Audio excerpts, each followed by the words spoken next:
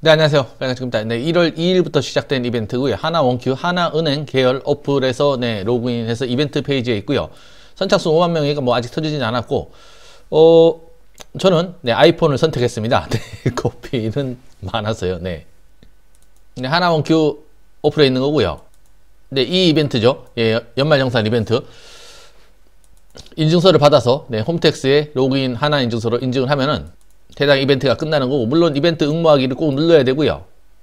1월 3일부터 2월 10일까지 하나 인증서로 홈택스 로그인 고객 1인 1회고요. 5만 명 달성 시 이벤트 조기 종료니까 아직 5만 명이 안 터졌기 때문에 이벤트는 계속 진행 중인 거고 어, 홈택스 로그인 간편 인증 하나 인증서로 꼭 해야 됩니다. 간편 인증 하나 인증서고 인증서를 받아야 되고요. 어, 2월 28일 당첨자 발표고 인증서 그 중에 기간 중에 폐기하면 안 되고요.